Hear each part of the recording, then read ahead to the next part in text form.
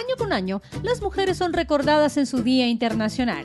Fiestas, regalos y demás se organizan en su nombre. Pero, ¿y qué pasó con los hombres? News piensa en todo y en esta ocasión sorprendió a los hombres de Guatemala en su día.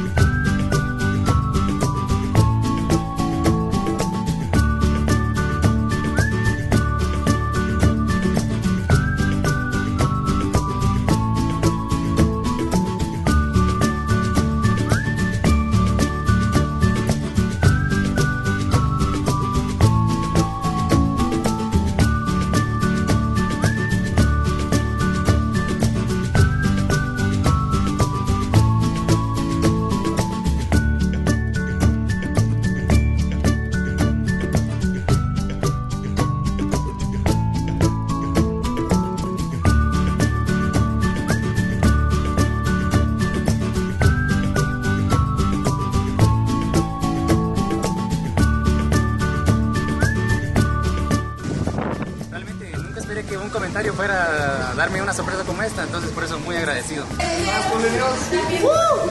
Más de lo que...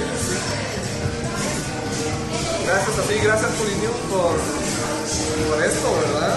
Bueno, la verdad que yo ni sabía que existía el Día del Hombre hasta que leí esto de Polinews, así que honestamente, pues qué bueno que se fueran nosotros también, ¿no? Pues me parece bien, alguien tenía que acordarse de nosotros, los pobres sufridos hombres, y, y gracias por todo, güey. Gracias por Hombres, no nos olvidamos de ustedes.